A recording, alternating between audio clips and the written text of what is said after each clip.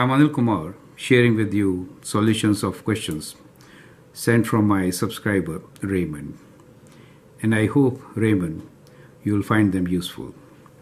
The question here is show that the line r equals to 3j plus t times i plus j minus k and r equals to 5i plus 8j plus 2k plus s times 3i plus 7j minus k are skew lines.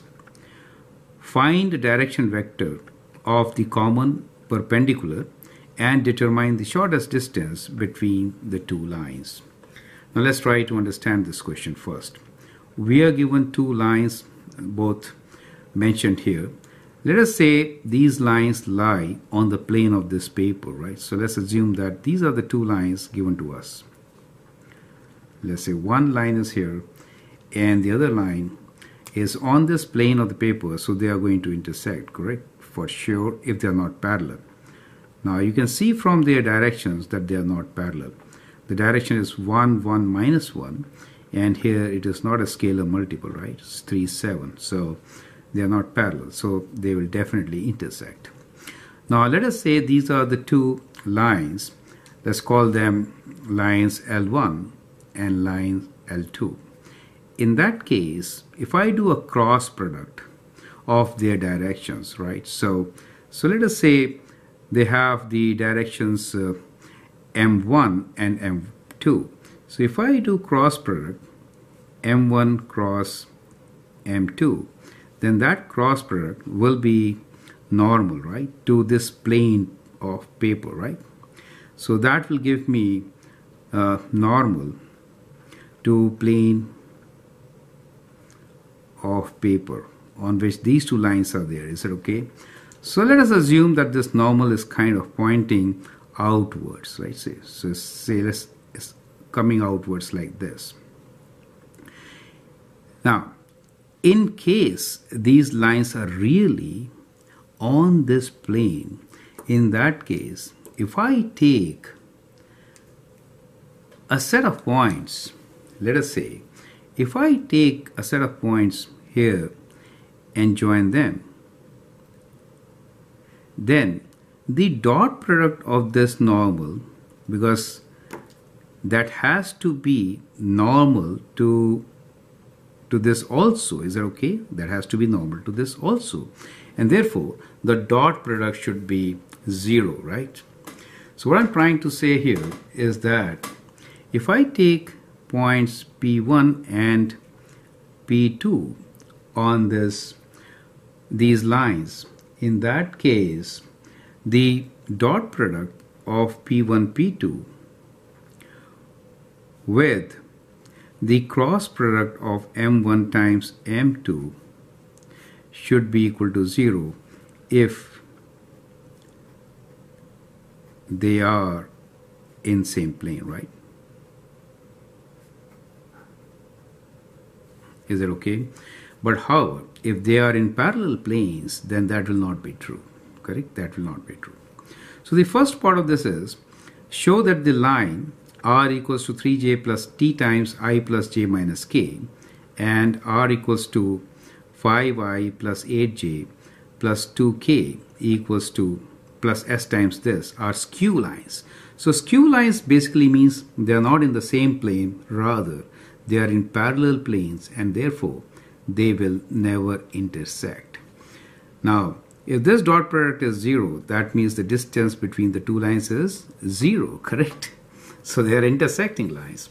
They will never intersect if they are in parallel planes or they are skew lines. That's the whole concept. So let's find the normal between these two lines because we will need it as such also to find the shortest distance, right? You know the formulas, correct? So in our first step, we will do what is mentioned here, which is find a direction vector of the common perpendicular. Then we will determine the shortest distance between the two, right? So, so the direction vector, which is, now here you can read, what is M1 cross M2? I mean, M1 cross M2. So we could write this as ijk, so I'll use matrix, and the direction is 1, 1, minus 1, 1, 1, minus 1. For the second line, it's 3, 7, minus 1, 3, 7, minus 1, correct? So this is equals to i times 1 times minus 1, which is minus 1, negative of this, which makes it positive 7, minus j times. So these are unit vectors along x, y, z, right? 1 times minus 1 which is minus 1 3 times minus 1 negative of that makes it plus 3 plus k times 1 times 7 minus 3 and that gives me 6i minus this is 2 and that gives me minus 2j and as far as k is concerned we get plus 4k right? Plus 4k now that is the direction for the normal. And you can actually take 2 common and you can write this direction also as let me write it in the form. We'll just divide by 2 right? So I could write this as 3i minus j plus 2k right times 2 it doesn't matter. So that is your basic normal which we have taken out correct? So we got the vector which is normal to both of them. So we got this this normal vector. Is it okay? So that's the vector which we have calculated. Now we'll also find the dot product now. So let's find what is p1 p2 So for P1, P2, we can consider the point which is given to us. Uh, that is this point, right? For line 1, it is 3j. For line 2, that is the point, correct? So P1 to P2 will 5 minus will give us 5 minus 0, which is 5. 8 minus 3, which is again 5. And 2 minus 0, which is 2. So that is P1, P2, correct? So let's find what is the dot product of P1, P2 to M1 cross M2, right? Let's find the dot product of P1, P2 to M1 cross M2. Okay, so we'll do it right here.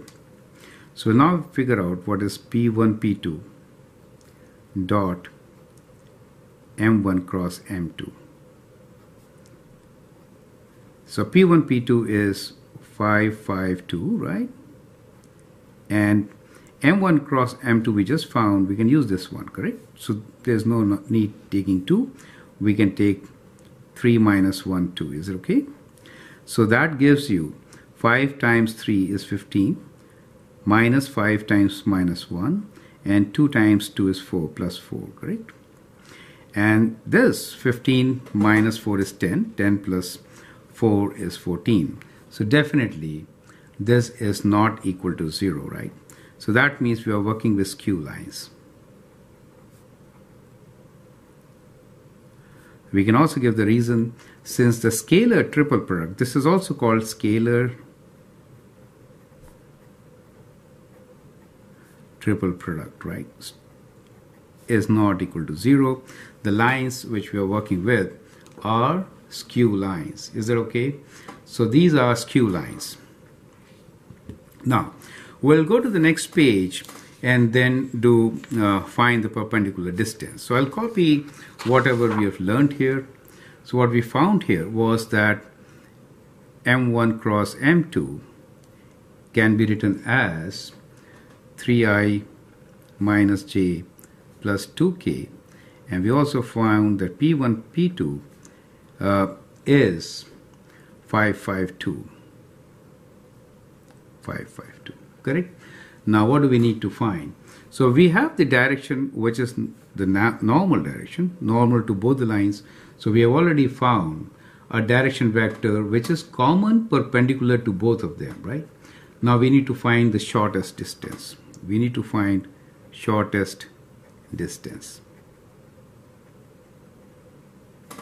Now for skew lines the shortest distance is is equals to absolute value of distance always absolute value.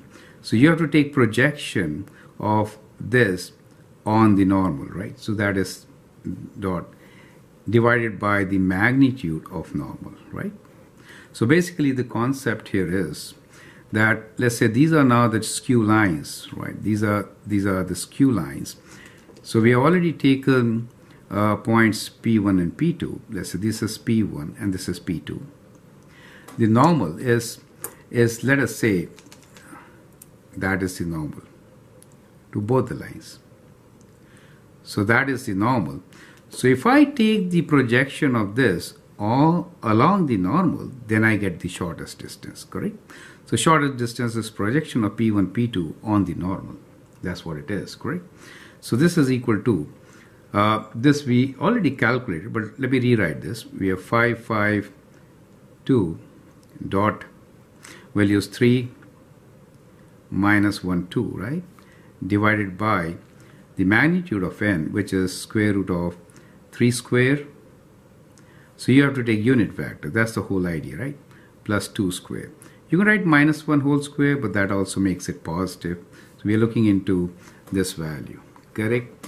So we found that the numerator is 14, correct? We found numerator is 14. Let me rewrite this. 5 times 3, 15, minus 5 times minus 1, and 2 times 2 is plus 4. And the denominator here is square root of 3 square, 9, plus 1, 10, plus, uh, uh, plus 4, right? So let me write down here 9 plus 1 uh, plus 4, which is uh, 14 over 10 square root 14, right? So that gives me square root 14 as the distance between the two lines, right? So that is the shortest distance between the two lines. So I hope the concept is absolutely clear. So in first part, we actually showed that scalar triple product is not equal to zero, right? If it was zero, then they would have intersected and distance was zero, correct? Since scalar triple product is not equal to zero, they are scalar lines. Once they are scalar lines, we just take a point on each and find its projection on the normal between the two to get the shortest distance between the two lines. I hope you find it useful. Feel free to write your comments, share my videos, and if you like, that would be great. Thanks and all the best.